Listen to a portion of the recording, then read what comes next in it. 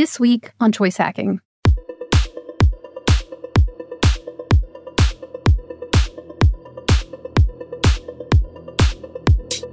It's one of the biggest fails in business history Quibi. You might think you know the story. Business royalty raised almost $2 billion to start the latest and greatest streaming platform. And it falls flat on its face in record time, only seven months from launch to shutdown. But contrary to popular belief, Quibi wasn't a bad idea. In fact, it was pretty ahead of its time, even if it was a huge marketing disaster. I'm Jennifer Clinehens, and you're listening to Choice Hacking, a podcast about what makes buyers tick, from psychology to behavioral science, neuromarketing, and more. Join me today as I break down some of the psychological traps that the Quibi team fell into, and you could too. But before we get started, I want to take a few seconds to tell you more about choice hacking and who we are.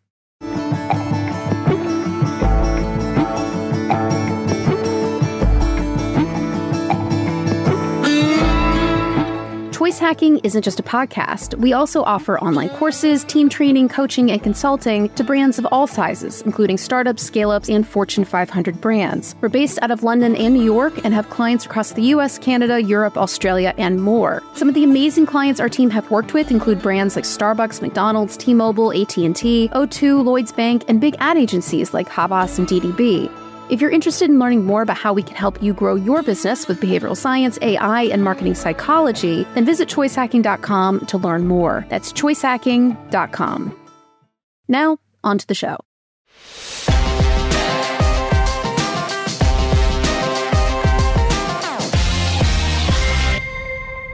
In 2018, the world of streaming content was a war zone. Big players like Netflix, Hulu, and Amazon were spending billions of dollars creating original content, locked in a cutthroat race for the eyes and wallets of the American public. Quibi entered what was one of the most contentious and competitive markets on earth, and they knew they'd need to be armed with patience and big pockets. So they raised a ton of money $1.75 billion to be exact. Now, that might sound like a lot to you and me, but in the world of streaming, where companies like Amazon and Netflix literally spend tens of billions every year just on content, it was a drop in the bucket. But Quibi's founding team were optimistic. They were, after all, entertainment and business royalty. Co founder Meg Whitman was the ex CEO of Hewlett Packard Computers and eBay, and a true expert in growing technology brands. To say that the other co founder, Jeffrey Katzenberg, was well connected might be the understatement of the century. He was the chairman of the Walt Disney Company for 10 years, the co founder and CEO of DreamWorks Animation. Yeah, the guys that made Shrek. Oh, and let's not forget, he's the K in that SKG that appears below the DreamWorks logo, representing its three founders Jeffrey Katzenberg, director Steven Spielberg, and billionaire business magnate David Geffen. To the layperson, Quibi seemed set up for success. They had a great team, a unique idea, and lots of money. But that was the problem. Quibi fell victim to a cognitive bias or an error in thinking called the halo effect. The halo effect describes how one positive trait of a person can affect our judgments of the rest of their personality, performance, and potential. Meg Whitman and Jeffrey Katzenberg were some of the most successful business people in the world, and Quibi's investors included entertainment bosses like Disney, NBC Universal, Sony, AT&T, and banks like JP Morgan and Goldman Sachs. And when people at institutions of that caliber are involved with a startup, it gives a bit of shine to the project. That kind of track record makes people feel like they can't go wrong. But in the real world, being successful in the past doesn't necessarily dictate how successful you'll be in the future.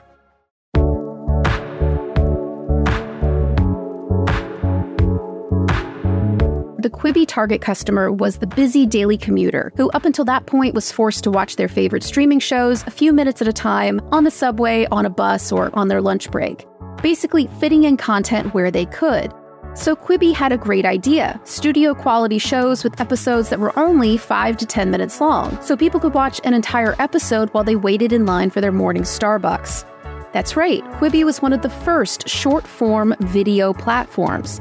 Like TikTok and Vine before it, Quibi wanted to get the world hooked on bite sized, snackable content that they could watch right on their phones. In fact, the name Quibi is short for Quick Bites. And on the surface, this approach made total sense. In 2018, people were spending more than three hours a day on their phones, and platforms like Instagram and Snapchat were driving billions of views a day on short form content. In an interview with Vanity Fair, Jeffrey Katzenberg told a reporter, quote, What you're doing today, if you're in our core demographic of 25 to 35 year olds, is you're actually watching 60 to 70 minutes of YouTube, Facebook, Instagram, and Snapchat. That growth is now a well established consumer habit that Quibi is sailing into. But there was a big problem with this strategy. Quibi was only looking at data about how people behaved without thinking if their product gave people something that they couldn't get anywhere else. And in their minds, the answer was yes, because Katzenberg and Whitman fell for a cognitive bias known as the false consensus effect. This describes people's tendency to think that our own beliefs, behaviors, and thoughts are more common in the general population than they actually are. In other words, we think other people like what we like and do what we do. If we eat at McDonald's once a week, we assume that most other folks eat there just as often. If we fly first class, we think most other people have probably done that at some point in their lives too. And if we think 10 minute episodic mobile shows are amazing, we think that other people will love them too. Even if in real life, customers just didn't see the point.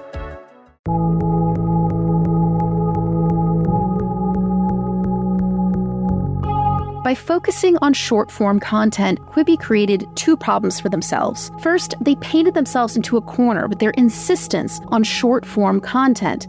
There wasn't any existing studio quality short form episodic content, so Quibi had to create everything on the platform from scratch. Even though established players like Netflix spend billions of dollars every year on original content, they still got most of their views from older, long form shows like Friends and The Office but Quibi couldn't pad out its content with existing shows, so it faced a huge, expensive uphill battle to get enough content on its platform to get customers interested.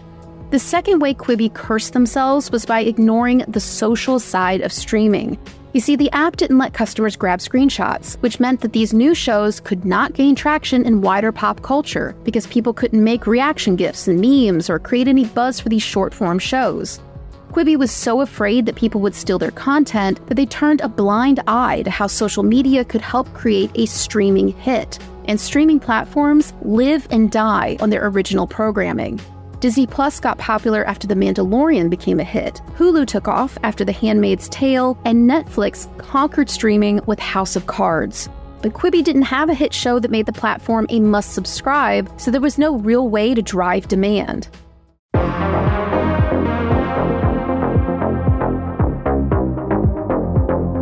Marketing isn't just the ads that a company runs. Marketing is actually four different things product promotions, placement, and price. And Quibi failed all four. Now, we've already covered product, but what about the rest? Placement is about where your product's available to buy and use, and Quibi was only available on people's phones. There was no TV app, and customers hated that. This strategy also put Quibi in direct competition with free short form platforms like Snapchat and Instagram and by the time a TV app finally launched, the damage had been done. Next is promotions, so advertising. Quibi spent millions on high budget, premium advertising, including a Super Bowl ad featuring Chance the Rapper. But because these ads didn't answer the simple question, okay, so what can I watch on Quibi, it didn't matter how many Super Bowl ads they bought. Customers just didn't get it. As for the price, Quibi only offered a free plan for the first 90 days post launch, so no one could try it without paying. And then it cost $8 a month to watch shows without ads, which just didn't seem worth it to most people. One thing I have to mention is Quibi's timing.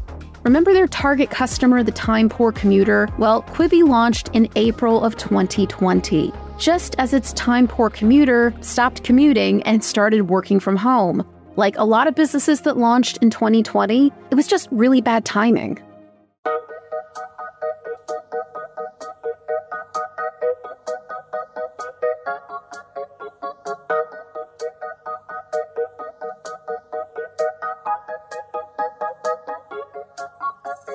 Now, we've talked about the psychology behind why Quibi failed, but I want to mention one last cognitive bias those pesky thinking traps that anyone can fall into, no matter how smart or experienced they are. It's something called overconfidence, which describes people's tendency to be a little too optimistic about their chances of success. This bias appears in almost every single one of these failure case studies that I share. That dream team of Meg Whitman and Jeffrey Katzenberg felt like they couldn't lose because they'd been so successful up until that point. So they did things that overconfident people do, like spend way too much money on ads and content without figuring out if people even wanted their product in the first place. Thank you for listening to the Choice Hacking Podcast. If you enjoy this episode, please rate and review it. It takes me 20 plus hours to create every episode, and it helps the podcast find new listeners when it has more ratings and reviews. And don't forget, you can learn more about behavioral science and psychology applied to business when you subscribe to the free Choice Hacking Ideas newsletter. You'll join more than 8,000 brilliant entrepreneurs and marketing folks from companies like Google, Coke, Disney, McDonald's, and Starbucks, but not Quibi, who get my newsletter. To sign up, just visit choicehackingideas.com. That's choicehackingideas.com. Until next time.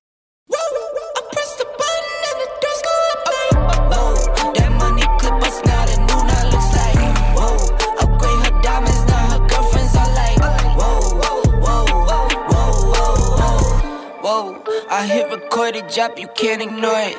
I'm transforming now these cars and planes, I'm always boarding. Just out touring down in Charlotte like I play for Hornets.